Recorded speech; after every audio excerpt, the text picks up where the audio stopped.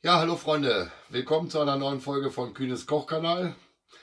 Ja, ich denke einige, bei denen die Glocke aktiviert war und die den Titel von unserem Video von heute gelesen haben, die haben das wahrscheinlich gar nicht erst angeklickt, weil äh, Meeresfrüchte oder wie heute Muscheln ist nicht jedermanns Ding.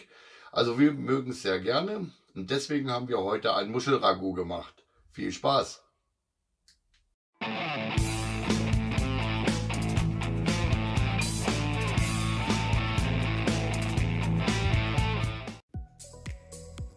Für unser Muschelragout benötigen wir 1 Kilogramm Miesmuscheln, 100 Milliliter Weißwein, Pfeffer und Salz, ein Gewürz eurer Wahl. Wir haben hier vom Ankerkraut das Fisch- und Scampi-Gewürz.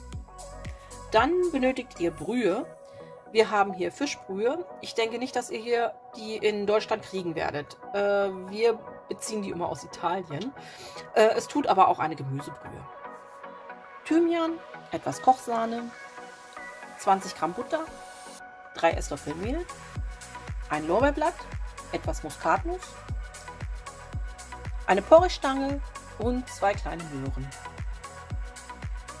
Und dann kann es schon ans Kochen gehen.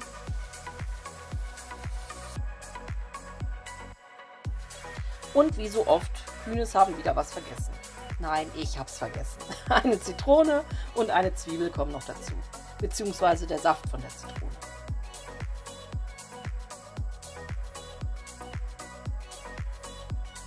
Für unsere Muscheln bringe ich nun Wasser zum Kochen.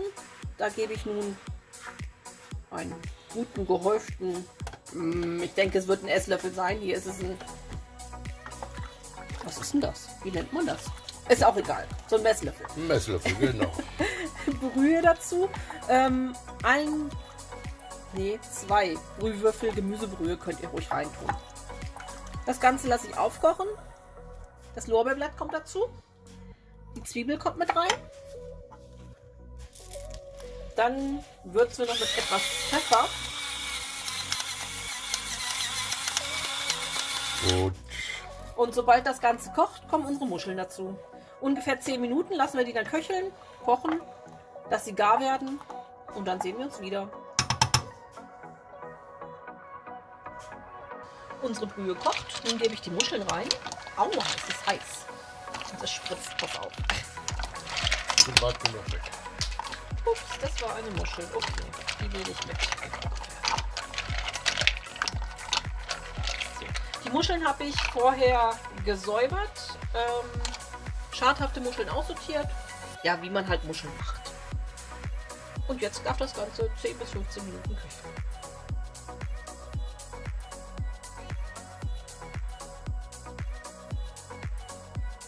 So, ihr Lieben, die Muscheln sind gar. Ich entnehme sie jetzt der Brühe.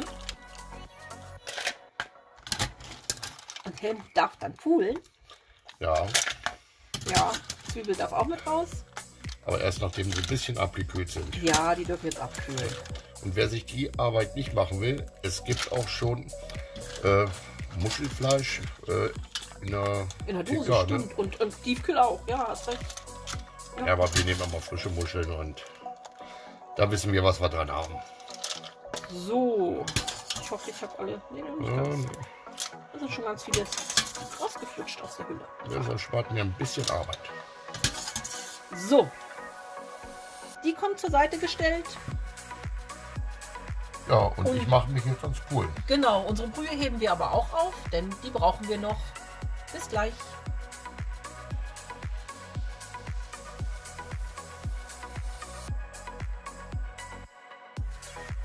Nun geben wir unsere Butter in den Topf, erhitzen sie und dann kommt das Lauch und die Möhren dazu.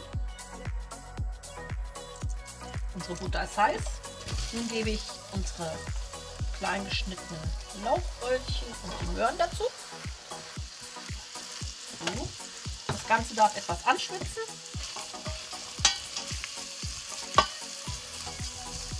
Und dann melden wir uns wieder. Bis gleich. Ja, unsere Möhren und der Lauch ist angeschmort. Etwas braun auch geworden. Nun gebe ich unser Mehl dazu. Und schwitze es kurz an. Ich hoffe, die Butter reicht dafür. Ja, muss reichen.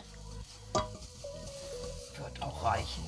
So, und jetzt wird das Ganze mit Weißwein abgelöscht. Das war ein kleines Glas voll ungefähr.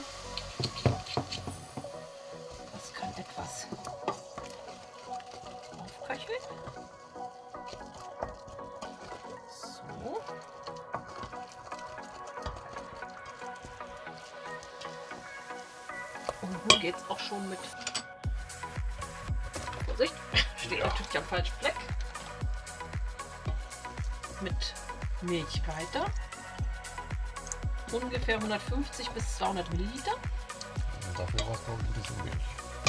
Ah. Meinst du, das war zu wenig? Ich glaube, das war ein bisschen wenig.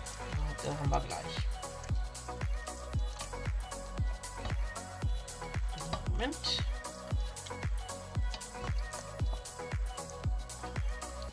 Dann gibt es noch ein Stück dazu. Man könnte es auch abmessen, ne? Könnte man machen, aber das ist mir das meiste hier einfach frei Schnauze. Typisch Frau Kühne. Ne? Hier stehen 30 Messbecher rum. Naja.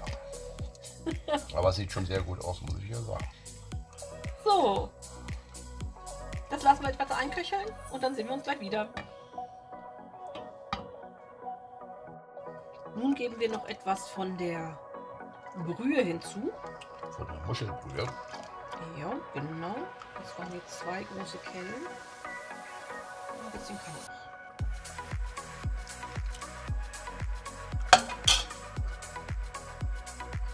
So. Dann wird gewürzt mit diesem Gewürz von Ankerkraut. Das war jetzt ein kleiner Teelöffel. Das ist eigentlich ein, ein naja, ein bisschen ein kleinerer Teelöffel. Das reicht aber. Das reicht auch. Ja. Etwas Thymian kommt noch rein. So.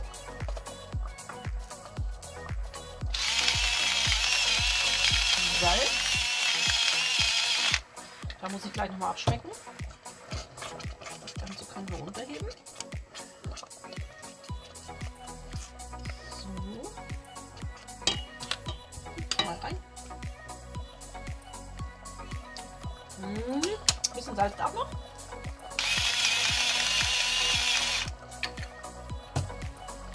Dann habe ich eine halbe Zitrone ausgedrückt.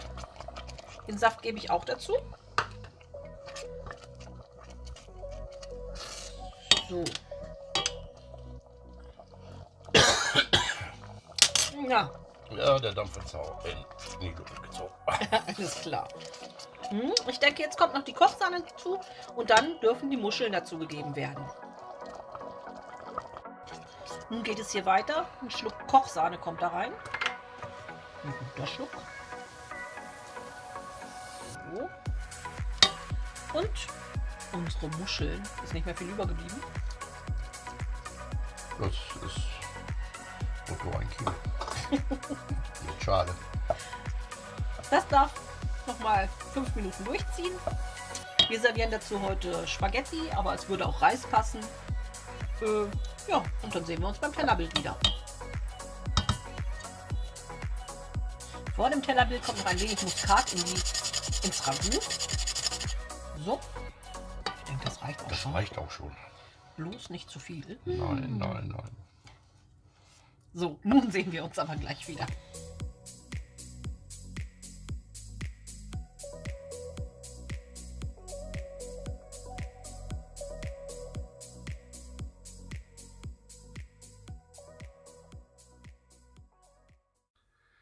Ja, ihr Lieben, kurzes Fazit. Wer Muscheln mag oder auch Meeresfrüchte, sollte dies auf jeden Fall ausprobieren. Von den Gewürzen her top. Wie Anne es wieder gemacht hat, habt ihr ja gesehen. Also eine total leckere Sache.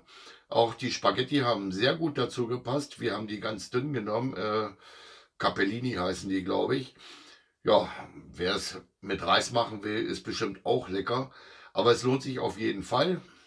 Wer die Muscheln halt nicht auslösen will aus der Schale, ja, TK-Ware. Ne? Oder äh, aus dem Glas würde ich sie nicht nehmen, weil schmeckt irgendwie, glaube ich, nicht. Okay, hat es euch gefallen? Lasst einen Daumen hoch da, netten Kommentar. Abonnieren könnt ihr immer unten rechts. Über ein Abo freuen wir uns immer.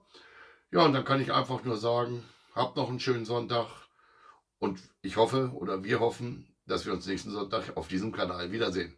Bis denn, ciao.